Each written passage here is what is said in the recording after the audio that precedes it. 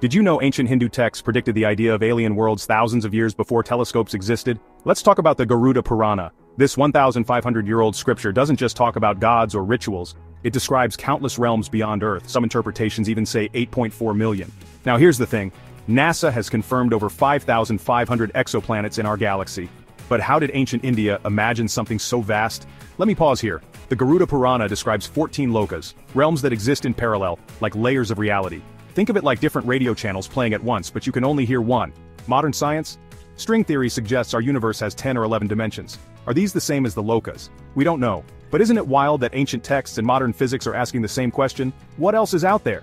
Take K2-18 b, a planet NASA found with water vapor in its atmosphere. Scientists are still debating if it could host life. The Garuda Purana doesn't name planets but it says Earth is just one of many living worlds.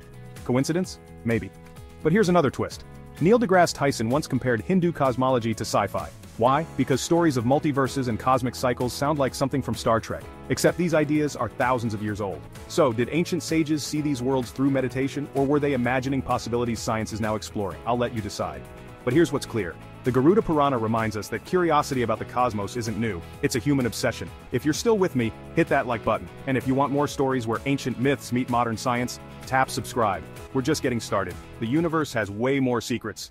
And I'll see you in the next one.